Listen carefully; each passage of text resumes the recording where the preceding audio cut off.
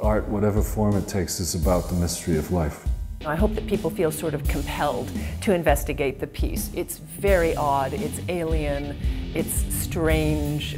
There is an image that you get 10, 15 feet away, but as you get closer, you start to realize there's a whole other painting going on, there's a whole other drawing going on. It has to do with a pandemic and an epidemic. The pandemic being COVID-19, of course, and the epidemic of black people being mishandled, murdered, etc. by the police.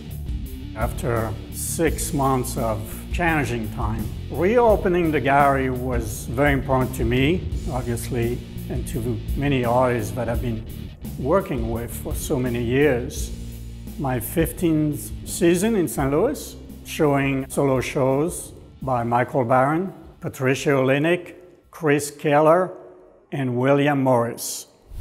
I'm interested in using ephemera and visual material that is probably going to go away.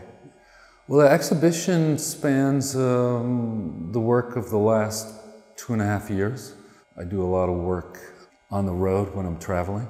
In the early 80s, I developed this strategy of installation that I called static theater. They involved a two-dimensional element on a wall and then sculpture in front of it that is part of the content and part of the material and part of the narrative.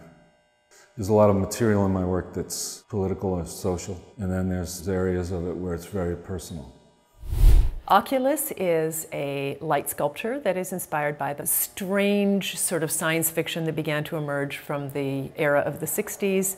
When I was at the University of Michigan teaching, I was working in a transgenics lab, and one of the life forms that I was working with quite a bit were these Drosophila flies, which is one of the key species that scientists work with to play with genetic code and with DNA.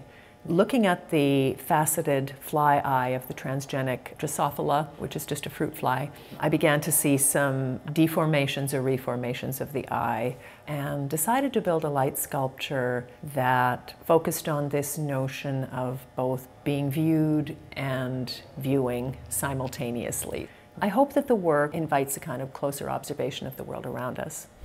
Shift was a show that I've been working on for about two years. I'm always working in a very intense manner in the two to three months before a show. This show was scheduled to be in April, and when we got interrupted, the work did take a shift. I figured out a way for me to create something extremely beautiful, then destroy it, and then build it back up. It's very much in relation to some of the feelings that maybe a lot of people are having during this time it does mark a difference for me. Drawing became so much more important in the development of each of these works.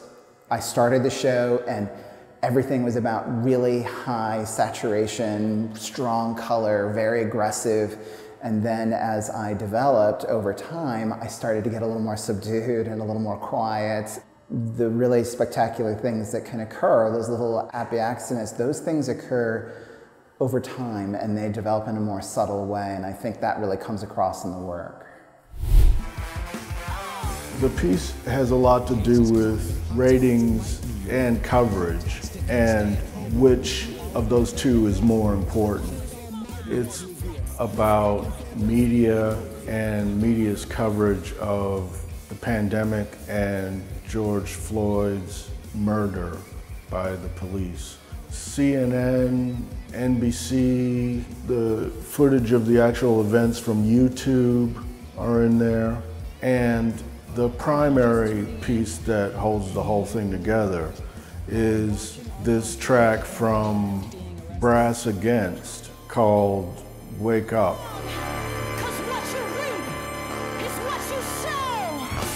There's a little snippet of Peter Finch in Network where he says, I am announcing my retirement due to poor ratings. Dissect the information you receive from television carefully because a big component of electronic journalism is entertainment and another component is ratings and then there's the news.